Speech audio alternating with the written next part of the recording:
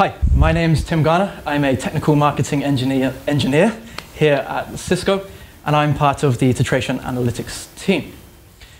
In this presentation, I'm going to talk to you about the Tetration Analytics security model, how we take the learnings from our application dependency mapping and help customers enforce segmentation in their data center environments. So what is our security model in Tetration? Well, probably the first thing that you're also scratching your head right now and thinking, I thought Tetration was just an analytics thing, right? Well, you can see as we go through this, we are really rounding out this product with a lot of security features. And as we go forward, you'll see even more security features coming out from Tetration as well. But our model that we're going to talk about today is the protect, detect, and remediate uh, model. This is allowing customers to understand what in my network should be talking to what helping them understand their policy, helping them make those changes to their policy and put that into their environment. Then we're constantly monitoring every packet to detect threats inside their environment. And when we do detect threats, helping them block them instantly.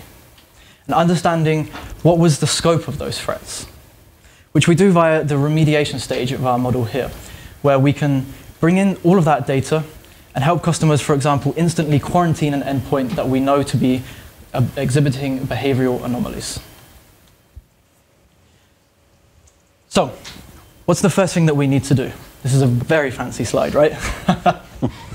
wow. This is, this is not mine. I don't have the skills in PowerPoint to be able to do this. so, the curse of uh, whitelisting is that you have very limited knowledge about how the applications intertwine with each other. Um, the amount of times where I've spoken to customers where they said, yeah, I, I, switched on this particular whitelist policy and the next minute I got a call from every single application owner because I broke everything and I just went home crying. I couldn't even deal with the problem. So the first thing that you need to do to understand and get knowledge is get visibility. And when you get visibility, the first thing that you see most likely is a huge jumbled mess of different application components. So you need to pick them apart and understand the dependencies between both applications inside the application and between applications as well. Now, doing that by hand is pretty much impossible. If you have a data center with even a couple of thousand endpoints, there is no way that you're going to understand all the dependencies between those applications. So we like computers. Why don't we let computers solve that problem for us? They're really good at doing this kind of stuff, looking for patterns, identifying those patterns, and visualizing those patterns to us. So what Tetration does is looks at every single endpoint. For that endpoint, it calculates a profile of that endpoint. What behavior does it exhibit? What application is it running? What ports does it listen on? Who does it speak to? What time of day does it speak? What type of packets does it send? All of that is used to generate a profile of every endpoint. And then we run those profiles through machine learning algorithms to generate groups endpoints that have similar behavior and should be treated similarly on the network when it comes to segmentation. Now those groups, you can even tweak how fine or how coarse you want those groups to be. Do I want to go right down to nano segmentation or am I okay with very generic groups? Everything that serves port 80 to me is a web tier. It's really down to the customer's decision as to where they want to set the limit for their segmentation. Now, we correlate these different endpoints together and we build a nice map, like solving the uh, Rubik's Cube for you. And between the different groups, we work out, well, what should the ports that need to be open between these groups be? And as you know with whitelisting, if you don't open the port, well then you break the communication between the different groups. Now, when you're looking at telemetry, if you don't have a view of every single packet, there is a non-zero chance that you miss a particular flow that was critical to a, an application. Some of those really tiny control flows that might only last for one or two packets, if you're taking a sample, there's a, definitely a statistical chance that you will miss those particular flows. By Tetration looking at every single packet, never sampling, what we build into the rules is a direct representation of what we have previously observed on the customer network there's always this challenge of this thing that's run once at the year's end that you won't catch and then it will break. Or once a quarter, you know, the yeah, whatever. summary, yeah. summary, yes. Yes, so um, that's why we put a huge amount of storage into Tetration because what, what I was talking about earlier, the four, the four to six months that we have available is actually available for every single packet to look at. But we do a batch job every six hours and we roll up the application dependency information so we can actually store years worth of data of application dependency maps inside Tetration. So the seasonality of applications, my backup job that happens at the end of the month, or my um, Black Friday traffic if I'm a retailer that is different than the rest of the traffic for the entirety of the year, we capture that inside Tetration.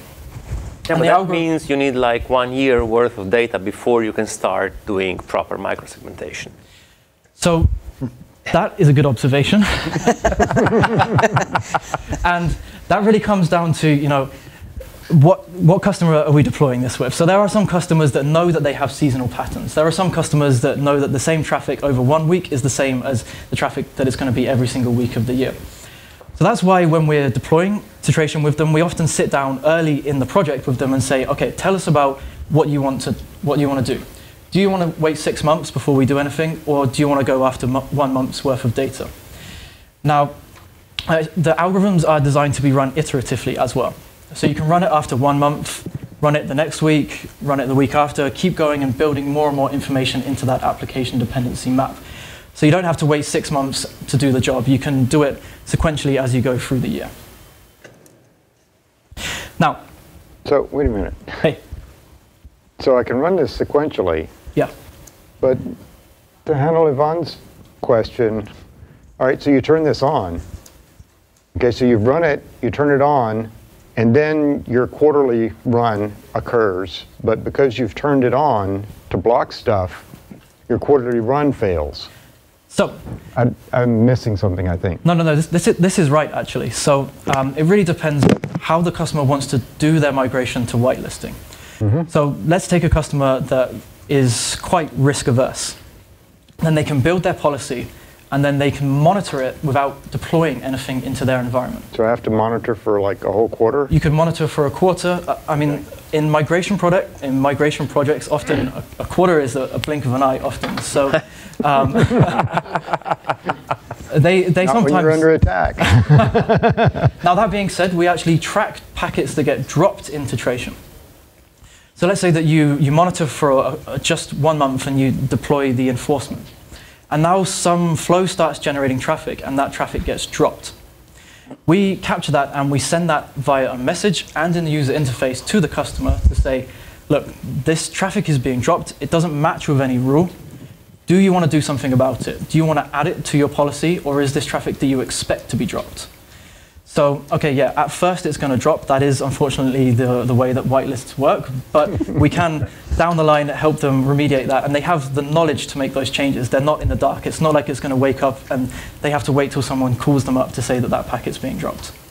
Yeah, by that time the phone is already ringing because the quarterly batch had failed. yeah, CFO's not, yeah. not happy. Yeah, and this there's nothing you can do. We're just pointing this fact out.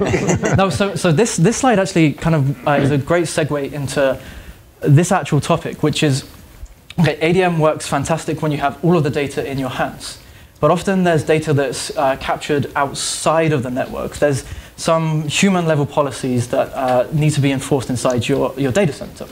So what you can do is you can overlay human intent into each application that gets merged with the application dependency map.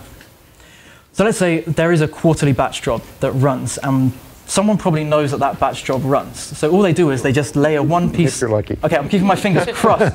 someone probably does.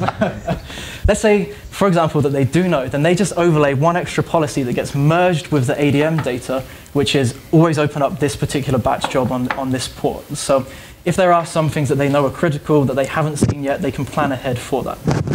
How do you handle a situation where you're constantly having new types of traffic introduced over time.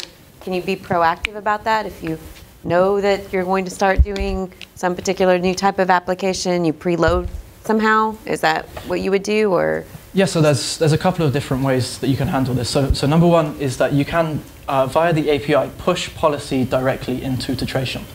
So let's say that a customer deploys Tetration, they're using the enforcement throughout their entire enterprise, then they can have part of the process to deploy a new application is that they build the policy and push that into the API ahead of time without having to rely on ADM. AEM often is used in migration scenarios where they don't understand the application. For a new app, they probably know who should be speaking to whom. Probably, again. Fingers crossed. Developers. Now, There's, there's other types of apps as well, which is an app that exists already, and then they have a tier that might be a scale out tier. So today it had five endpoints, but tomorrow there's a good chance that tier scales out to 25, and then when the traffic goes back down, it comes to five. So you can hint to Tetration with uh, what we call um, filters and say, you know, these are the five IP addresses today, but I expect this whole subnet could actually be filled up to uh, be part of this tier. So you can give it hints ahead of time that application traffic is going to change. Yeah, I was wondering if you'd come up with something like that for this case of running once a quarter, once a year sort of scenario, where you could give it hints that, hey, expect to see additional east-west traffic because, okay, during the quarterly run, there's a new quarterly backup that's made. It goes to a different server, for example. Yeah, you're, you're exactly right. You can give it as many hints as you want, Okay. and you can overlay hints in different places. You could do it on a per application basis, or you could do it across the data center. You can write one rule in Tetration that says, yep, every single application, by the way, is now going to speak to a new backup server that we just deployed. Mm-hmm. I don't have to go around every app. I just write that rule, rule once, and it gets distributed to every app. Now, this sounds great, but usually these things don't move anywhere because there's so much work involved that no one ever invests the time to set all this up. Yeah. So, So- how do you solve that problem? Well, the, the way that we're trying to solve it is by automating as much as possible.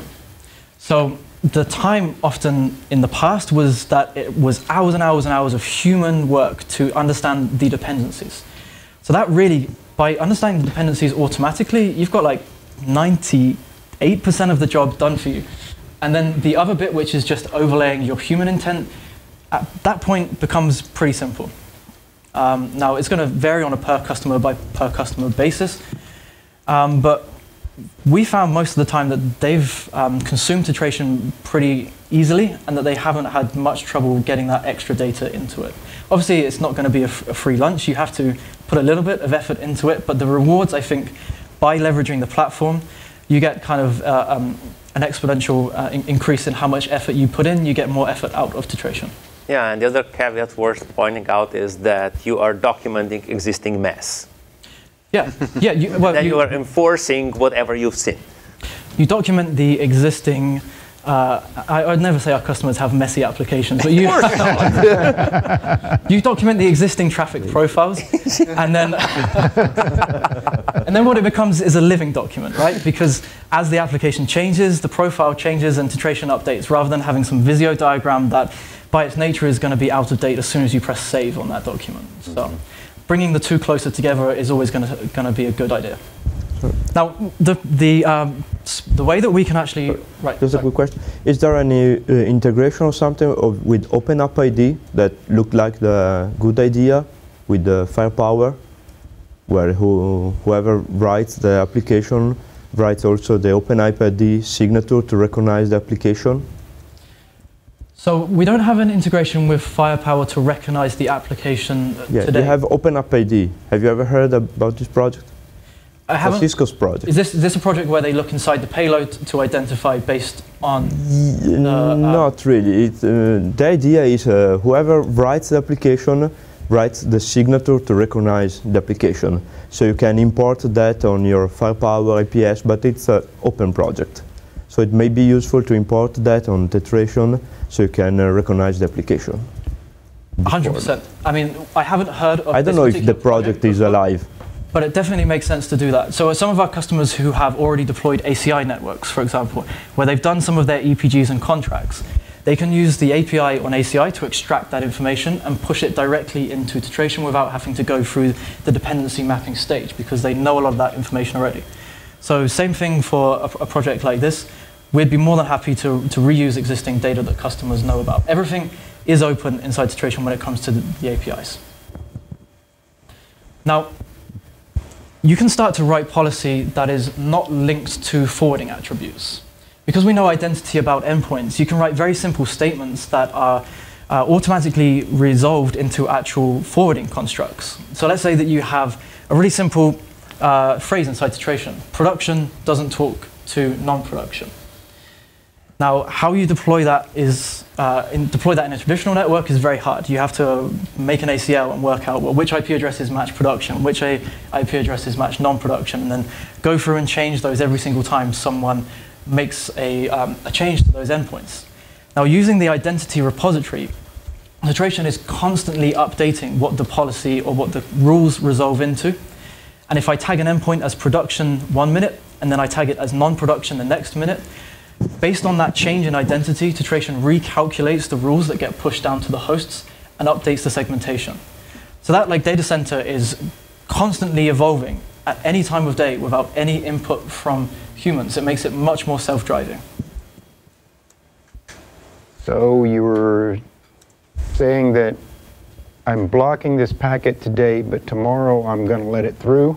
Correct. How do I know that?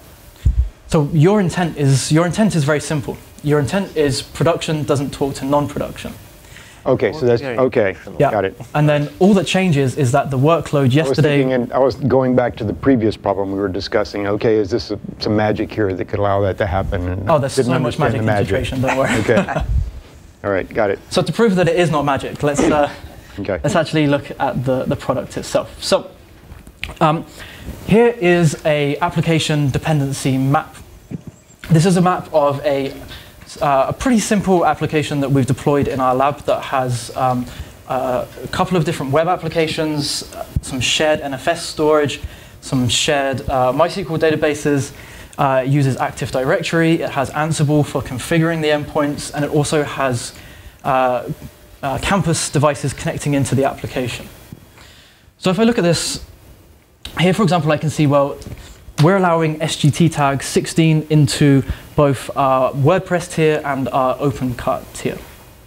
And I can also see by mousing over, let me see if this could. In this setup, you have agents installed on all these systems, right? Uh, yes, correct. We have an agent on all of the hosts in this environment. Um, it's not a necessity. You could have just the software, uh, sorry, the hardware sensor to collect this data as well. So here I'm seeing that uh, yeah, SGT16 is allowed to access the OpenCart tier of this application. We've identified the consumer and the provider relationship, and we've also identified that the only port that should be open between those two is port 80. Now, if I look inside the OpenCart tier by clicking on the particular icon, if I come uh, back here. And what else is feeding data into this, this demo? Uh, so that's a good question. One of the other things that we have feeding data into this demonstration is metadata from load balancers. So if you look here, there is a little icon of a load balancer. It's not so clear. That identifies that uh, really, when we go from, the, uh, from, the, from this tier to that tier, you actually go via a VIP on the front of a load balancer, and it goes to the backend to uh, resolve that request. So it makes you understand that the logical segmentation is SGT16 to OpenCart. But on the wire, we're going to see two separate TCP flows. Now, you can see that there's a couple of different components that are shared. We don't have to map every single shared service into Tetration. NFS is going to be reused by every single application. So, like we were saying, the more that you use Tetration, the more effort that you put into it, the more it understands about your infrastructure, and the less that you have to map for every application my NFS store that I've mapped once gets reused into every single app. I can even come to a different application from the perspective of the shared app. And I can see that the NFS server is actually being um, accessed by 10 different consumer applications. So we get kind of um, the gains of understanding that shared piece of infrastructure.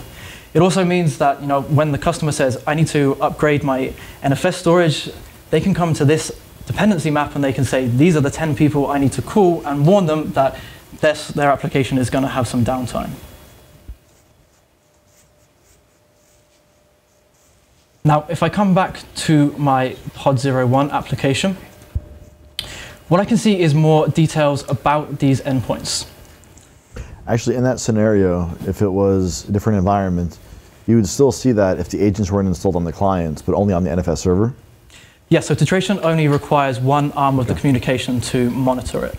For enforcement, can you do it with just one side of the communication? Yeah, you can do one-armed enforcement as well because Tetration controls ingress and egress policies. Cool. Now, all of this data, exportable. I'm not going to lock you into my platform. Um, so if you so desire to take this Tetration policy out and put it into AWS as security groups and security rules, or you want to put it into ACI or maybe even some other vendors, um, controller, this is the policy that you need to do to program those rules. But you don't export for Amazon. You just export in this format, then you would convert it. So we export in the generalized format, and then we have different applications to convert. So on GitHub, we have converters for AWS, we have converters for other vendors as well. cool. There's always JQ. When you have the data, the world, it's, it's up to your imagination at that point. Yeah. Now, I'm going to come back to my um, application here. So this is, the, this is the model that we are going to enforce in my environment. Anything that doesn't match this, by virtue of a whitelist, is going to be dropped. Um, so looking at my policy analysis screen, I can understand what traffic is going to be matching my whitelist policy, what traffic is on my network right now that's not matching my policy, that would get dropped if I went ahead and enforced this policy in my network. So ideally, you'd be seeing no drops in this. Exactly. Before you press the big button to enforce, you want this graph want to be like this Yeah. and be blue. So when uh, we've done the baseline, we've created this whitelist policy, and let's say I've applied it, but I mean, in- inevitably, there's going to be new IPs on the network, new hosts. Some of them are going to be ephemeral. Does Tetration analyze all that and, and, and adjust the whitelist for me on the fly, or am I expected to, to tweak this thing by hand now and again, or? So it's kind of, kind of similar back to the previous answer where there's a number of different ways that you can tell Tetration that you expect the application to change. So you could say, today you, you recognized five addresses in this subnet. Change that from five unique addresses to just say anything that falls into this subnet, apply the policy automatically to it.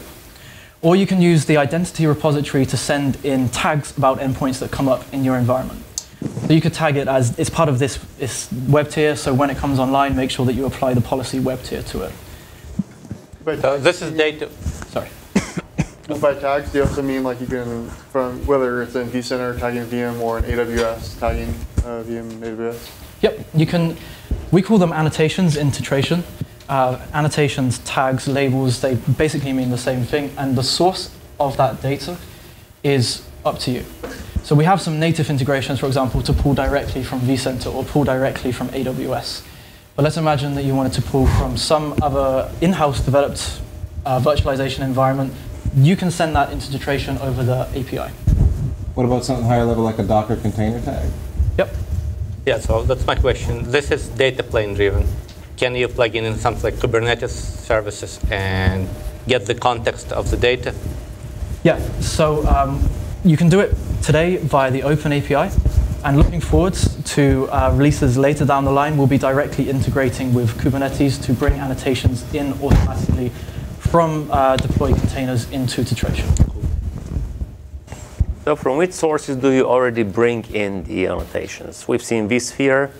Anything else? Yeah, um, I will. This was in the, the first section, but Yeah. the this is the list of vendors that we have available right now today, where you can where you can deploy it uh, with a pre-existing um, connector. Thank you. It's not the limit. And if you have ideas, I'll be more than happy to chat with you afterwards. So back in your network diagram, Yes. um, you had pretty much everything talking on a single port. Uh, that was just so happened to be what I looked at. So, for example, here, database. Do you have another example that has multiple ports? Uh, yeah, um, from from Okay. the uh, OpenCart tier to the Tetration Collector tier, 5640 and 5660. And we also have. so where I'm going with this thought is, is in a complex network, what you'd really like to do is, okay, so what if there's a piece of existing malware there and you're whitelisting it? so, um, How do you go back and validate? It, it's kind of getting to, I guess, where Ethan was going with some of his thoughts here, uh, where I implied he was going, was um, what do you know about the application? This gives you an idea. How do you go and validate that that's actually correct? So right now, Give me on- tools to help me yes, do that. Yes, so we're, we're going to be Feels like shipping more tools Yeah. later on, which will help you understand more Okay. about the actual process that's generating these flows and potentially correlating that to a database of known bad processes, for example. That is Okay. something that we could do. Excellent. Um, Maybe at the end of the session, if we have a few minutes, we'll talk about that roadmap Okay. item. Okay, so uh, now we come back here. I want to make sure that we get this in. So, how does it actually work? So you take the intent, which is written in pretty, uh, pretty human-like language, either automatically via the ADM rules or by overlaying your own rules into that. And Tetration is the one that takes the, the dirty work of working back out, well, what are the IP addresses of those particular hosts right now? It knows who's production, and it essentially compiles that down into a list of IP addresses that we can enforce inside the host-based firewall. It is a grey list as well. So you can either do it in a whitelist way, you can do it in a blacklist way, or you can actually combine allow and deny rules to come up with very, very unique ways of saying, you know, I'll, I'll allow these five endpoints apart from this one when it matches this criteria on this day. Now, we also have a concept of processing rules asynchronously from each other. So the, the holy grail that a lot of customers are trying to strive for is to give autonomy to the application owners, but at the same time control them in some way, sandbox them in a sense. And what's very difficult in a lot of environments is you only have one place that you can put policy in, and therefore everyone has to synchronize with each other to make sure that the right people get the right precedence. Now in Tetration, we allow the customer to capture their policy intent asynchronously. The application owner can write their rules. The network team can write their rules. The InfoSec team can write a different set of rules. Based on who has the priority, and we, uh, we let the customer customize this based on their business rules, if there are clashes between those different pieces of policy, whoever wins is whoever has higher priority, and that's automatically resolved. So now you can say, yep, here's your workspace inside Tetration. Build whatever you want. Connect your web tier to your app tier. Connect your database uh, to your load balancer. But if you try and open port 22 from your database to the internet, I'm sorry, as much as you try to do that, my rule is going to take effect over your rule. And we have some really nice ways that you can look at that and troubleshoot it in Tetration to understand the hierarchy of those rules. So how does it work? Well, what we do is we generate a policy per workload. So each workload has a unique policy. It's not a global set of policies. And we can scale today up to 1 billion policy rules across one Tetration cluster. Now, once those policy rules have been created, we push them out to the workloads. And the workloads can be anywhere. There is absolutely no limit where you put that workload. As long as you have access to the OS and it has layer-three connectivity back to wherever your Tetration cluster is, you can go ahead and enforce policy on it. So you can have one consistent level of segmentation across every infrastructure, and you don't have to play least common denominator to work out what can I do in all of these infrastructure environments. You get the most common denominator. Now, what does this look like?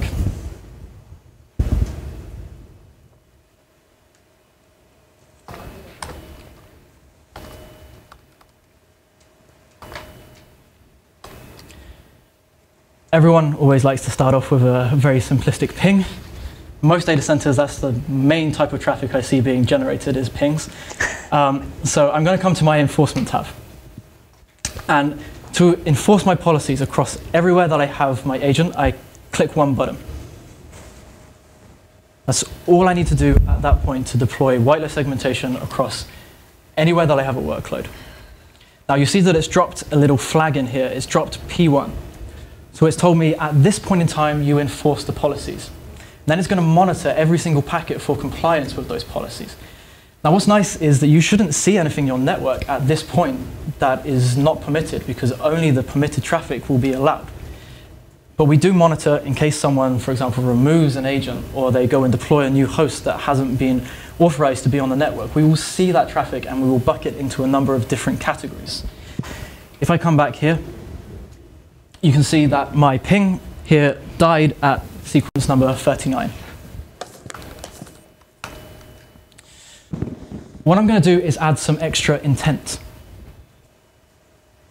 Here we are. You that the thing dropped, dropped, dropped, right? Yes. Yep. Um. let's uh, add. Let's add. It will take the, the pipeline itself has about five minutes from the point that, a packet is on the network to the point that it's available inside the UI to look at. So once we do the next section, we can come back and look at those pings being dropped. Now I'm going to make one change to my policy because I, I love pings so much that I want to make sure everyone inside my pod is allowed to send ICMP.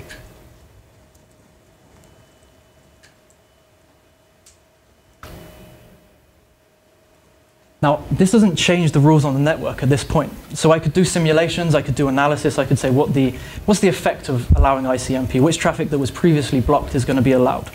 Uh, we don't, unfortunately, have so much time today, so I'm going to live a little bit recklessly and um, enforce my policies. Now, that's going to recalculate the rules, and it's going to enable ping on that host. While that happens, you see here that I have a separate workspace called InfoSec policies. And that InfoSec policies applies to just the default scope, whereas my policies apply to the pod one application. So this comes down to the point where I want to overlay some policy as a security team that every single application owner has to inherit.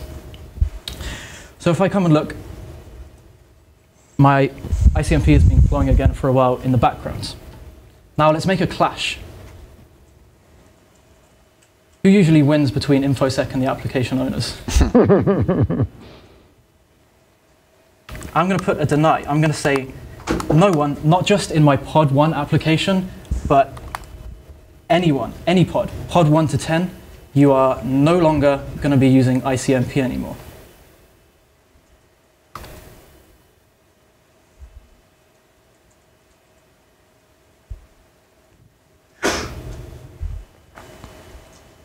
Now I've enforced that policy. We have a clash. We have a clash between the InfoSec team and the application owner. And Tetration is going to automatically resolve that based on who has priority. Now, how do I actually interrogate the system to find out what has been resolved? Well, first thing I'm going to do is grab this one. In fact, while we're doing that, you can see the sequence number right down here at the bottom has stopped uh, incrementing. So even though I didn't have to ask the application owner, we have uh, enforced some policy and sandboxed them.